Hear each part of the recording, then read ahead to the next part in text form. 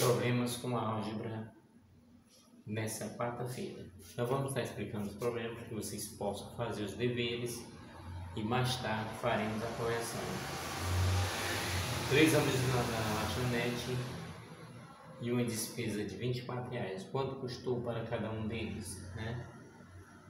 Nós vamos pegar 24 dividido por 3, lembrando da tabuada de 3 e de 8. 3 vezes 8, 24 para 24, nada. De forma direta. E depois, é, é, o número 27 é divisível por pelo menos dois números vamos citar. 27 por 3 é 9, 27 por 9 é 3. 3 vezes 9, 27, 3 vezes 9, 27.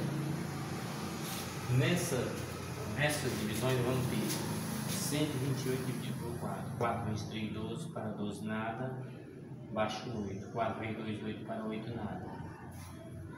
E nessa daqui,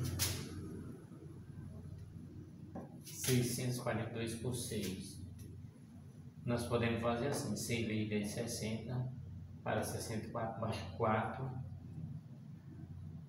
e fico 2. Que dá 42. 6 vezes 7, 42 para 42, nada. 6 vezes 1, 6 para 6, nada. E colocamos o zero, né, já que para 4 não é possível, né? Então, 107 multiplicar por 6 dá 642. Esses, esses são os exemplos dos problemas de hoje que estão presentes nas atividades de hoje dos problemas com álgebra. Após a aula, após os exercícios, faremos a correção das atividades. Até o nosso próximo ano.